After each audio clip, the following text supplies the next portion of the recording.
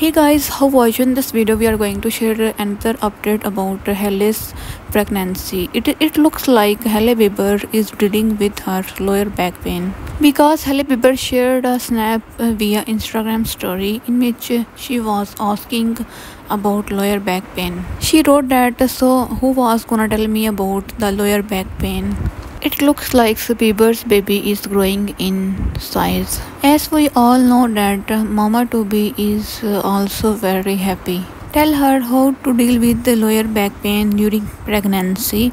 Tell us in comment section.